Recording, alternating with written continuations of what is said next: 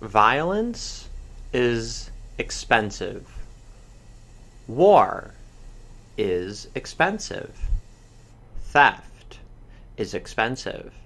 In fact, virtually all violations of the non aggression principle are, in the long run, extremely expensive. Occasionally, you can find examples of NAP violations that might seem advantageous in the short run.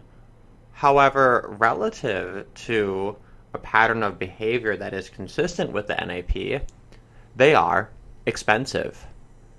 This is a universal rule that is denied when one is presented with an oppression narrative. And I maintain, or I will suggest in this video, that all oppression narratives are based in narcissism, and they are essentially threat narratives. Now, I got the term threat narrative from Alison Tieman, and I, apply it and use it in ways that I don't think she has done so explicitly. And um, I look forward to hopefully having the chance to discuss this with her in person at the ICMI because I'm, I'm curious of whether or not I'm kind of taking it too far and bastardizing it, or if maybe I'm adding something kind of valuable to it. Because I consider the threat narrative series that she's done on YouTube to be among the most um, very profound and interesting videos in all of YouTube, which I will link in the description. But a threat narrative has a target and the idea is that you're going to package your target as an aggressor. And I maintain that this is what um, most threat narratives do is they package their target as the aggressor in order to justify aggressions against that target as retaliation.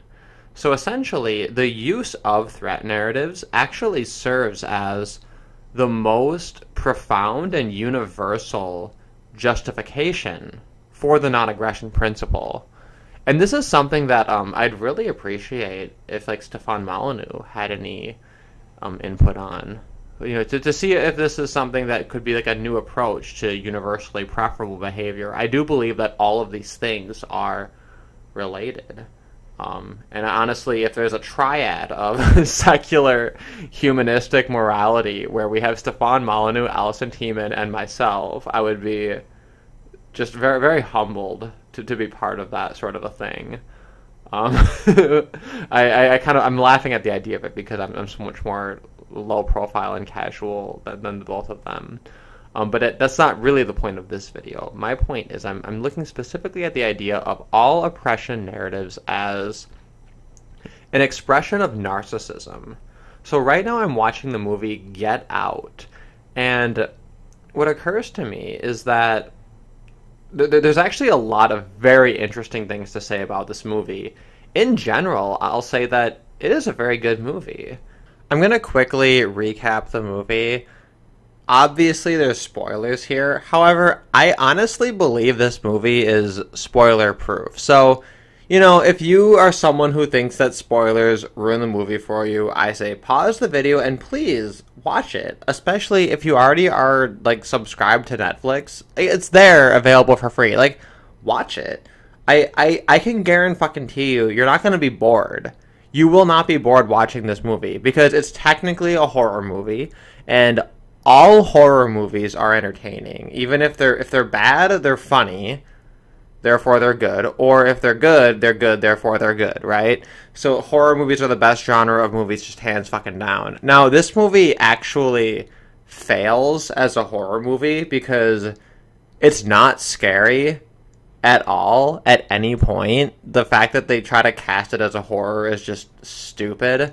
It's cast as a comedy slash horror slash satire, and it's a satire of horror, which makes it a comedy. But it contains authentic racial criticism. So it's it's it's in a, it's in a very weird space, and that makes it kind of a fun movie to watch. Just because it is a little bit different, and that's fine.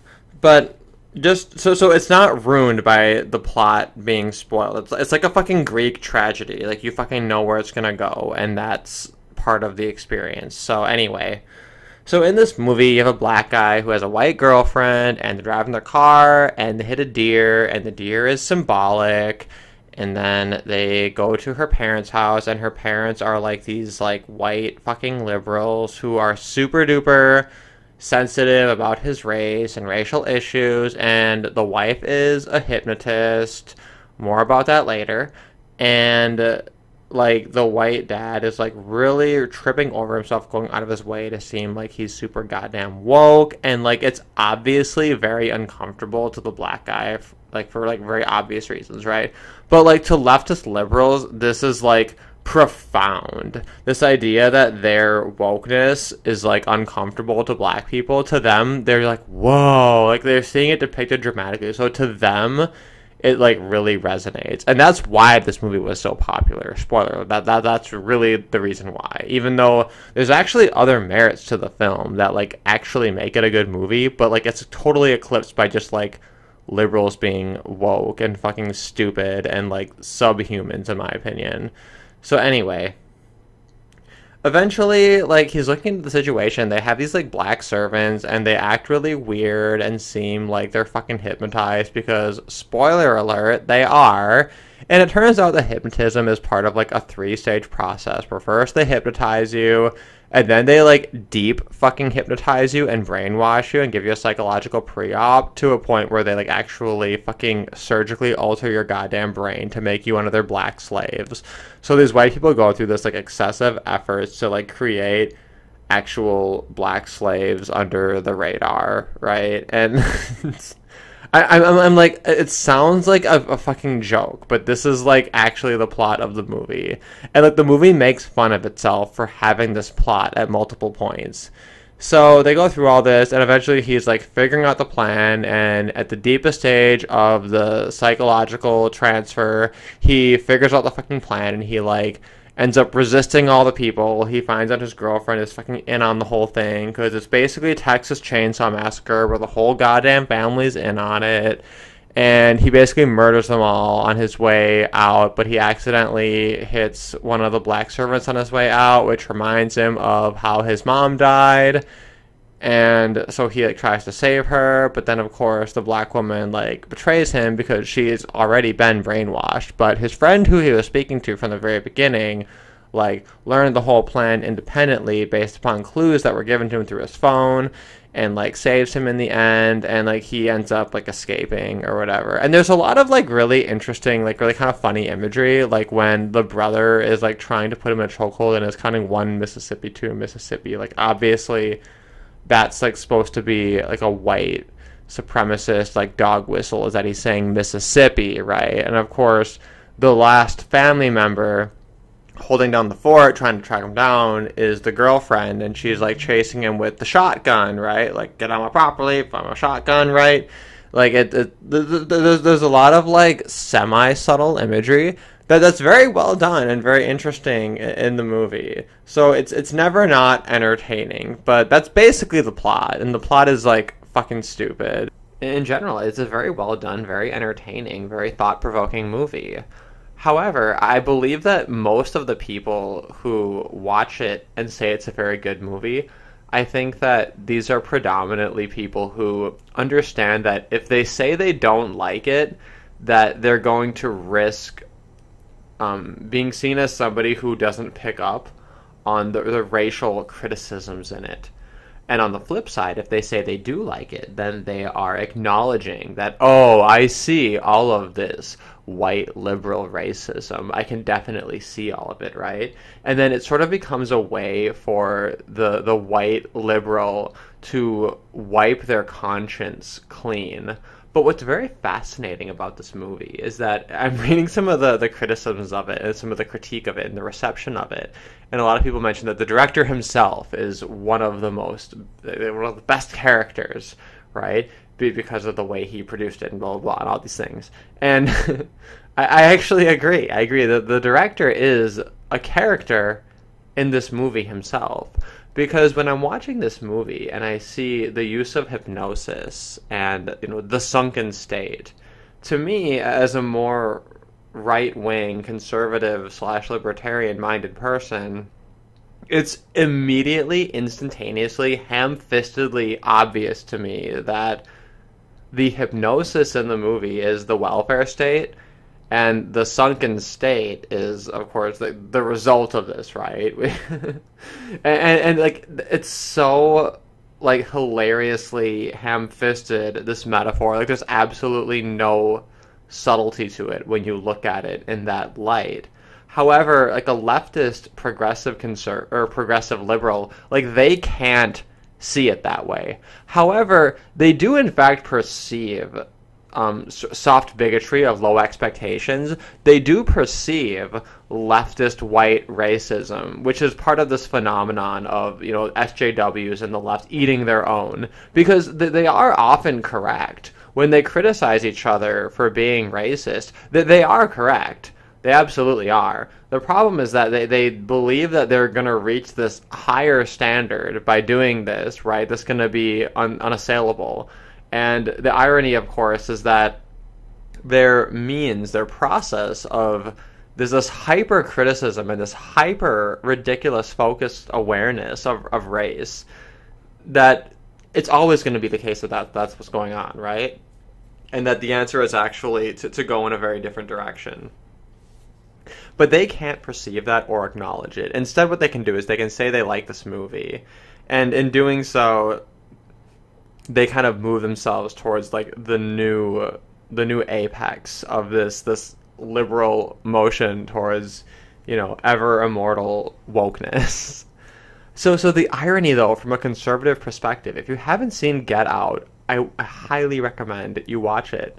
Because it's truly like a meta drama. It's a drama played out by the existence of the movie and the general positive reception of the movie as well. and that's what makes it so so funny is that the liberal reception of it actually reinforces a lot of the racial critiques in the movie. Now, the takeaway of the racial critiques in the movie is that um the idea is that like when these things happen they're supposed to kind of go under the radar and it's like liberals do these things and you you you you're not you perceive it as racist when you're watching the movie but of course in reality this is just interwoven and it's just part of the reality and blah blah blah right? It's just it's so stupid because it's self-defeating. If you're watching the movie and you can understand that like this soft bigotry is incredibly racist if you can see that then like if you're able to perceive it and that it's it's it's so popular, right? That kind of defeats the argument because if that racism is so obvious and so popular to, to mock and to ridicule, then it demonstrates that it's not really this prevalent, overwhelming, subversive force that it needs to be in order to the, for this movie to make any goddamn sense at face value. so this movie like only would have made sense as a criticism of the modern world if it weren't so popular. Its popularity proves that it's actually kind of bullshit. And what it's really reflecting is black narcissism. Because you have like this scenario where these black people are hypnotized and then they become these virtual slaves, right? And the idea is like these black people don't want this and that these white people do want to do this, right? There's this like big scene where the the father of the white girlfriend is asking the main character who basically has no personality beyond being like what a photographer that is trying to quit smoking and he's racist against white people but that's kind of normal that's just like depicted he's supposed to be like this perfectly normal black person and like his anti-white racism is just like a generally accepted like normal thing. and that's all we have for this character. But he asks this character like, "What is your purpose?" Right? And they go into this like existential bullshit thing that's supposed to be this like epic climax of the movie or whatever. It's like it's so pretentious and retarded. But just taking a step back and looking at it, it's like so you believe that white people like want to go through this hypnosis in order to have these like black servants who just really desperately want to be free and they were tricked into this welfare state kind of situation, right? When in reality it's it's black people like begging for this and voting for this, right? And like wanting all of these policies and consistently voting in favor of having affirmative action. And when you see these like black conservatives and conservatives trying to cater to black people, it's always like, what's in it for me? And we try to explain to black people very slowly that capitalism benefits everyone. So even if there's more economic inequality overall, that means that the poorest of the poor are still better off, right? But, but that's never good enough. It's always, well, what's in it for me in particular? And then the black, and then, you know, black conservatives and everyone like Candace fucking Owens, they have to fucking like trip over themselves, being like, well, the Democrats are the real racists, and all this just like stupid bullshit that's like so pedantic and condescending and annoying. And like, any black person who's actually worth a damn, like fucking Thomas Sowell, understands this shit and understands this shit perfectly well. So like this whole very, very popular way of approaching black issues and trying to gain the votes of minorities, it's I find it to be just so insulting and stupid and it, it really really makes me sympathize with the alt-right in a really sincere way that I, I really wish i didn't have to ever. And I'd, I'd like to live in a reality where you know when when when you present a black person with a choice between big government influence and control over their life versus freedom that rather than saying well what's in it for me personally? they say oh i see that the morally ethically correct position is to get rid of the goddamn government. And like there's enough black people who are counterexamples to this, who who understand these principles that I, I don't believe that it's it, that like an ethno state is fucking necessary. I just I, I really don't. I really would believe that you know the, the the multicultural capitalist state is always going to be superior to the ethno state of any variety. You know, but you know, in large numbers, it remains to be seen. So, you know, I'll cross my fingers. I'll do what I can. Hopefully, this video makes some goddamn sense to some people. But um, basically, in Get Out, the idea is that these black people are like tricked into this whole thing. When in reality, it's like black people begging to be put into these like subservient roles relative to the white people to have some level of that white wealth. And the idea is that the white people they just like want to go out of their way through all this extra effort just to have like servants of a particular skin color. And it's so stupid. It's really stupid because from the perspective of like a, a, a really really genuinely racist person why would you want your servants to be black? Like if you hate black people you don't want them as your servants. You want like white servants right? Like, why would you prefer to have servants of a race that you hate and want to like have power over? It's this like sadistic mindset, and it's part of a threat narrative. It's part of an anti-white threat narrative that white people would rather have like less effective, less amicable servants that are inferior to them, so long as they can like have this facade of being superior to that race and it's ultimately an expression of black narcissism. This idea that's like, like, like, like I'm so important that you want to go out of your way to oppress me. No. Near the end of the movie, he's trying to escape from the house, and it's this dramatic play between the brother of his girlfriend who he thought he had like knocked out or incapacitated, right? Who of course comes back because the movie uses a lot of like horror cliches very intentionally, and that's one of them. So he comes back at the end and he's trying to stop him, right? So like multiple times in the scene, he like grabs the door and then the white guy stops him, you know? And it's like I'm sorry, but when Malcolm X was telling the black people, let's have a back to Africa movement and like fuck off and just leave this goddamn country, you know, you had like racist white people who were like, yes, leave. Please go.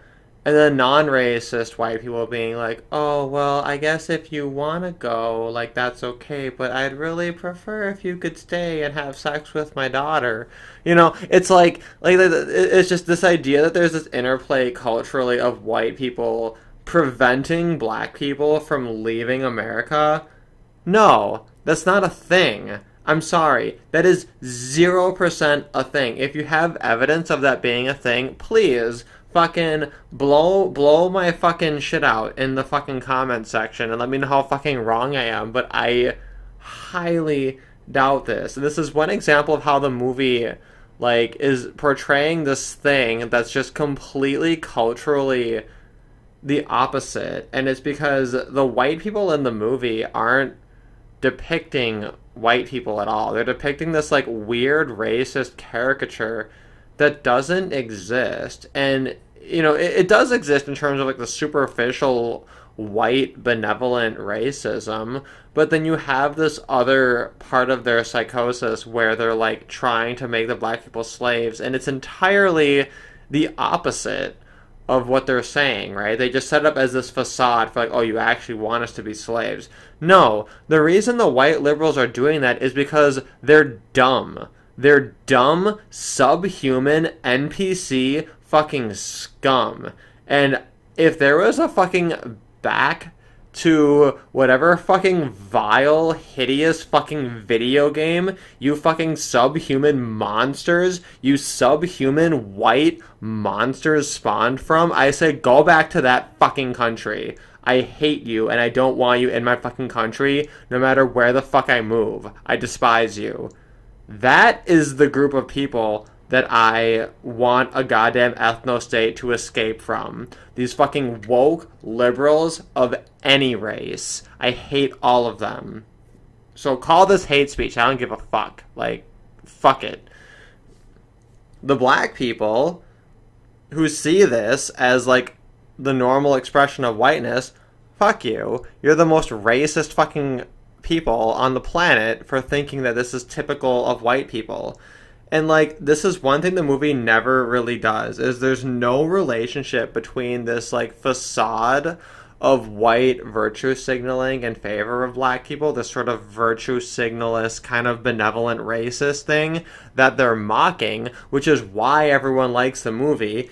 That part of it is entirely disconnected from this intentional forced servitude and forced slavery of the black people that they you know later have this grand reversal where they reveal that's what these white people are actually up to. These white people make absolutely zero sense as people because there's no relationship between those two things. So and, and like you need that gap to make sense in order for this movie to make any sense but it doesn't. It absolutely doesn't. The only way that you can bridge that gap is just by saying white people are evil and by engaging in the same sort of racism that you're supposedly condemning by saying that you're this woke person who loves this movie at face value.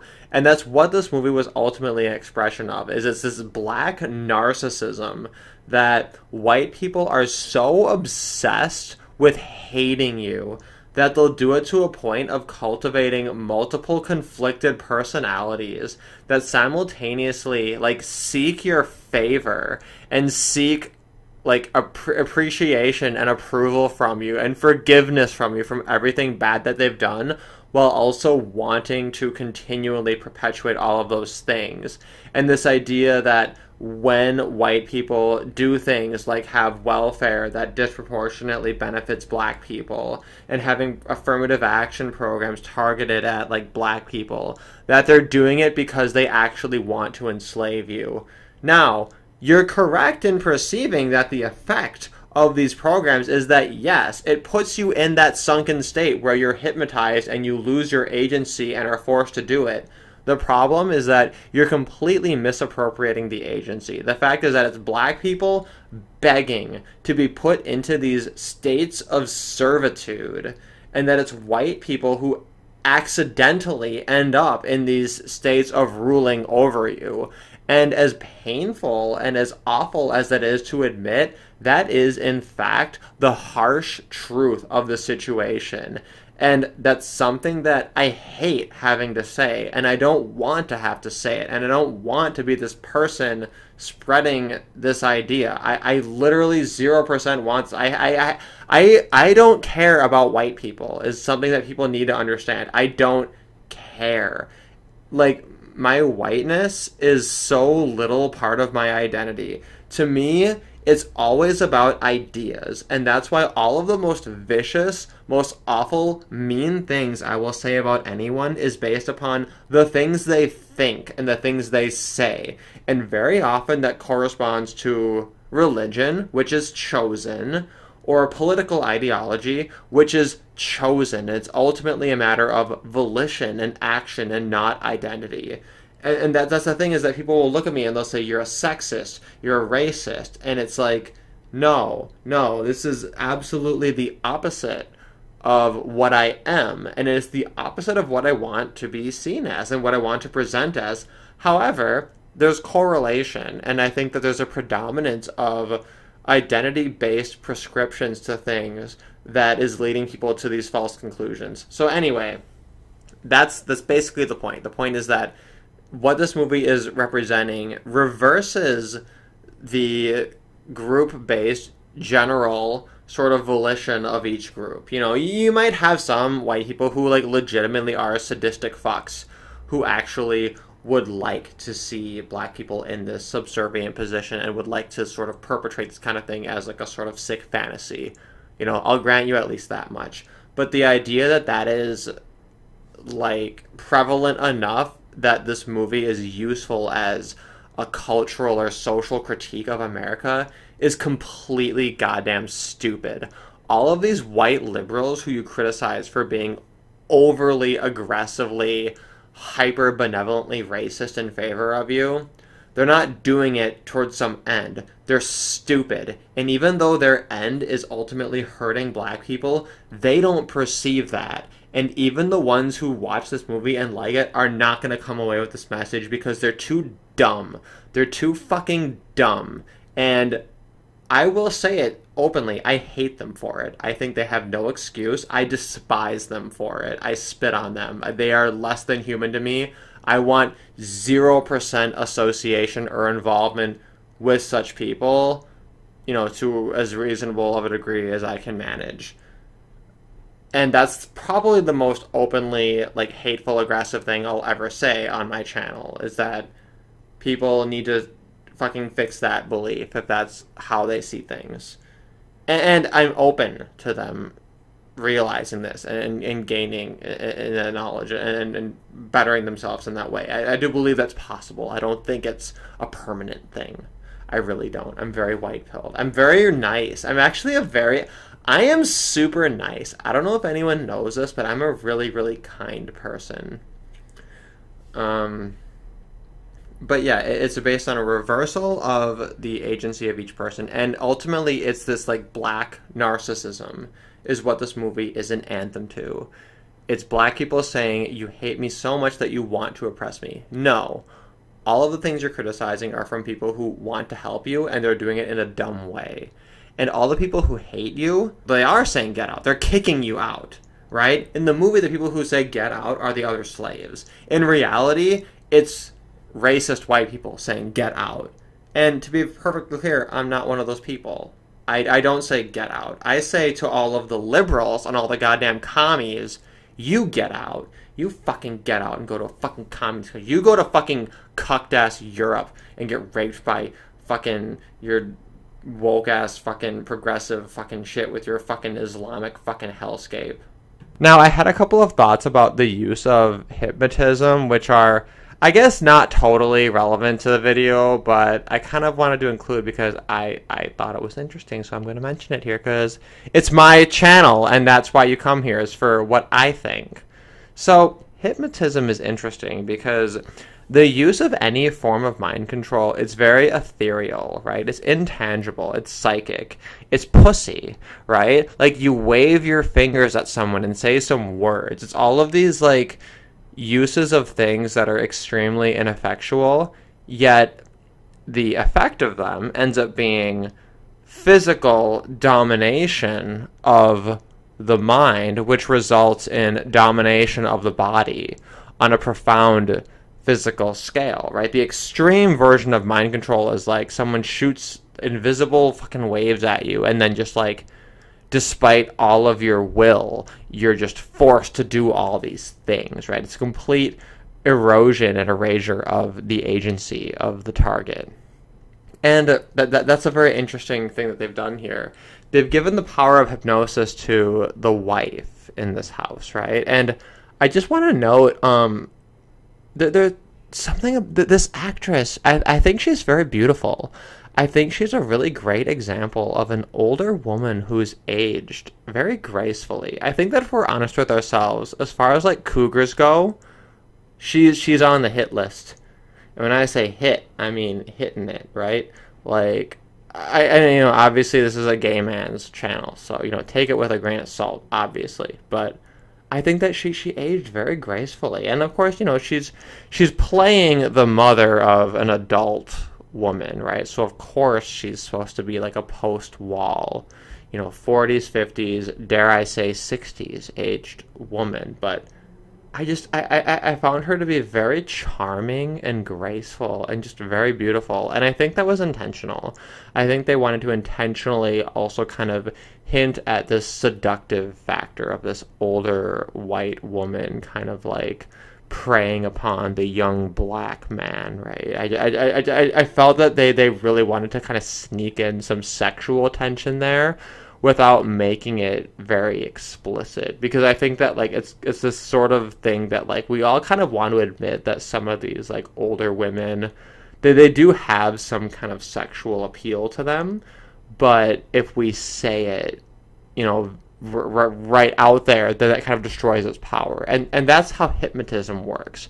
Hypnotism it, it's it's not bullshit right like you can totally hypnotize people and fucking do shit you can use power of suggestion. You can use these really subtle wizardress fucking manipulations to cause real effects in reality. It's, it's a true thing. But when you're focused on the hypnotism itself, it, it's sort of comical, right? Because you're just like, like, like literally the, the hypnotistic focus of this movie was her stirring and clanking her tea and you, you can tell that's what she's using very early on in the movie, right? You're like, oh, like it's the it's the goddamn tea. She always has her fucking cup of tea. It's not just because she's a white bitch and it's a very white thing. Of course, th- that's one of the reasons they did it. They made it like a very white. It, it's, it's so fucking white to have your little tea plate with your fucking teacup and your little teaspoon and you're fucking stirring your shit and fucking clinking it. That is the whitest shit ever. Fucking Asian bitches don't do that. The Asian bitches, when they're doing their tea, they like pour the water over a tea bag into the cup repeatedly and then pour it into a little cup and drink out of the little cup. It's like a totally different mechanism. This is a distinctly white form of white wizardry with the fucking white tea. So, anyway, this stupid, like, frivolous use of tea ends up becoming something that by the end of the movie, he, like, fears and is, like, resisting actively. Whenever he sees the fucking tea, he's like, oh god, no, they're gonna fucking pull their fucking white person fucking magic on me again, right? And, and he's right. He's absolutely goddamn correct. But I think the real magic might be this, this cougar's fucking charms. And that is everything that you need to know and could possibly learn from the movie Get Out. Thank, thank you very much for coming here and indulging me. Have a nice day.